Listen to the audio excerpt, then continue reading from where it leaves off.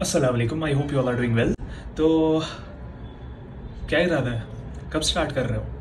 अभी भी सोच ही रहे हो कि नहीं, कल से करूँगा, कल से करूँगा, अभी तो घूमने जाना है, अभी तो बहुत गर्मियाँ पड़ रही है फैमिली के साथ घूमने भी जाना है, शादियाँ भी आ रही है, ईद भी आ रही है तो उसके बाद स्टार्ट करूँगा या करूँगी?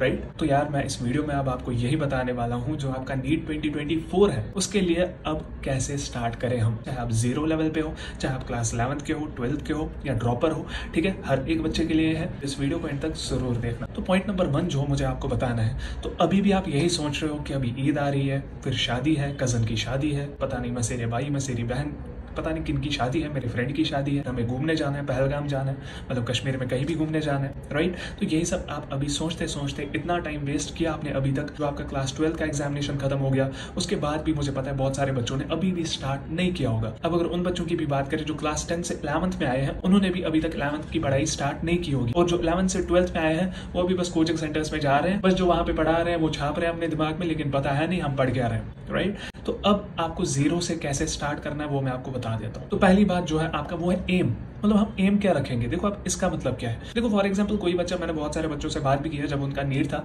तो बहुत सारे बच्चे ऐसे थे कि भैया, हमारा नीट 2023 नहीं होगा। मतलब जब नीट 2023 था, ठीक है? तो उनने पहली होप खो दी थी, ऐसा बता रहे थे कि नहीं होगा हमसे तो हम क्यों ही दें? फिर मैंने उनको फोर्स किया ऐसे लाइक फॉर्म भरो वगैरह वगैरह at least give it a try right तो जब आपका माइंड ऐसा ही हो कि हमसे नहीं होगा देन खून से लिख के देता हूँ, नहीं होगा, कभी भी नहीं होगा, ठीक है? अब कोई बच्चा ऐसा होता है कि यार, अब अगर ड्रॉप भी किया है तो इस अटेम्प्ट में एटलीस्ट 400 500 तो लानी ही है। अरे मतलब जब आप ऐसी एम रखोगे, अब अगर आपका 500 या 400 एम है देन यही मान के चलो आपके 200 से 300 मार्क्स आ जाएँगे। मेन चीज़ ये है, आपका टारगेट हाई होना चाहिए। आपकी एम जो है वो हाई होनी चाहिए। फॉर एग्ज़ाम्पल अगर 720 में से मार्क्स है, आपका कम से कम 680 प्लस होना चाहिए एम तभी जाके आपका दिमाग भी वैसे ही वर्क करेगा। तभी जाके आपकी लाइफ में वैसी चीज़ें होने स्टार्ट हो जाएँगी। ये मैं लिटरली बता रहा हूँ, जैसा आपका एम होता है ना, वैसे ही आपका दिमाग भी फ़ंक्शन करना स्टार्ट कर देता है। आपकी सराउंडिंग्स भी आप मतलब नोटिस कर ले रहे हैं, आपकी सराउंडिंग्स में भी वैसी वैसी चीज़ें होनी स्टार्ट हो जाती है।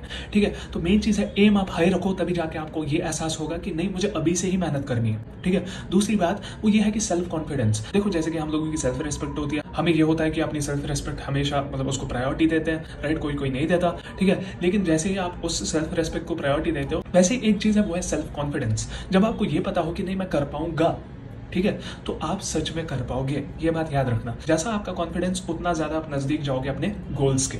ओके तो क्या करना है? मेन चीज़ है कि ये ठान लेनी है कि मैं अभी से स्टार्ट करूँगा और अभी से ही मतलब ऐसे स्टार्ट करूँगा कि नीट 2024 में फोड़ देनी है, ठीक है? मतलब फोड़ दिया सीधे।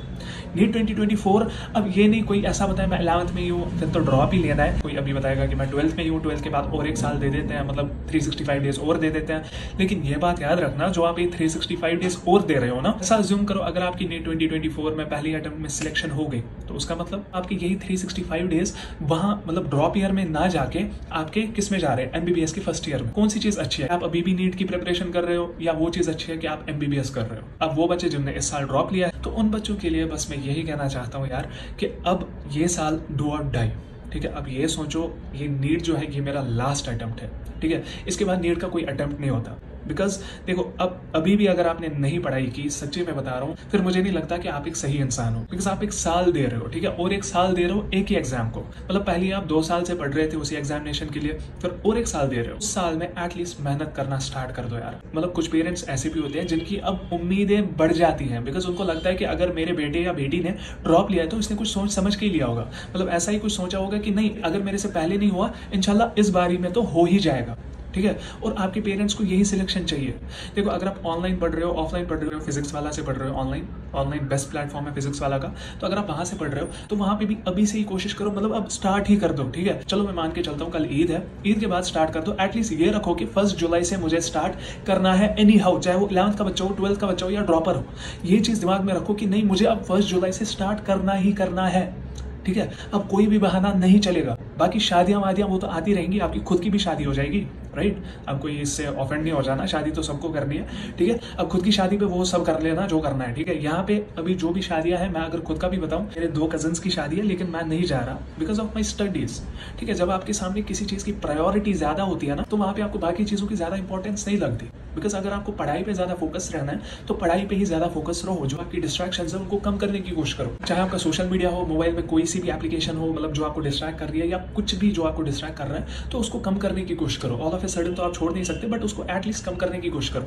ठीक है? तो यही मुझे बताना था कि आप अभी भी अगर स्टार्ट नहीं कर रहे हो देन आप कभी भी स्टार्ट नहीं कर सकते। And drop year is top year तो ये मैं खुद से बता रहा हूँ। अब इसका मतलब क्या है? अगर आप ड्रॉप ईयर में अच्छे से पढ़ रहे हो तो आप इनशाला ज़रूर टॉप करोगे। बस अच्छे से मेहनत करो। अपने पेरेंट्स के बारे में सोचो। वो जो पैसे दे रहे हैं हमारे लिए इन कोचिंग सेंटर्स को तो वो चीज़ सोचना वो उन्होंने कैसे कमाया है? ठीक है? तो वो चीज़ जब तक आप दिमाग में रखोगे, और जो एम है वो बहुत ही हाई होनी चाहिए, ताकि आपका जो टारगेट है वो अचीव अच्छे से हो जाए। एंड ऐसा भी एक सब्जेक्ट ले लेना, जो आपको फुल्ली कंफर्म हो कि नहीं भाई, इसमें तो एक क्वेश्चन भी नहीं छोड़ना है। मोस्ट ऑफ़ द बच्चों का बायोलॉजी होता है कि बायोलॉजी में थ्री आउट ऑफ़ थ्री लाने चाहे आपका बायोलॉजी हो फिजिक्स हो केमिस्ट्री हो, जो भी हो आपका, ठीक है? वो एक ऐसा सब्जेक्ट है जिसमें आप ज़्यादा होल्ड रखोगे, बाकी दो भी है, वो उनको भी अच्छे से चलाओ, ठीक है? सो बाकी ये कहना था मुझे इस वीडियो में। आई होप आपको इस वीडियो से पॉजिटिव इन्फॉर्मेशन मिली होगी। अगर वीडियो किसी भी रीजन की वजह से पसंद आई हो give it like and share this share करें हर एक बच्चे के साथ, और साथ ही साथ हमारे चैनल को सब्सक्राइब ज़रूर करें ताकि आपको ऐसी बेनिफिशियल वीडियोस और लेटेस्ट अपडेट्स मिलती रहे। सो हम मिलते हैं किसी और वीडियो में, तब तक के लिए अल्लाह हाफिज टेक केयर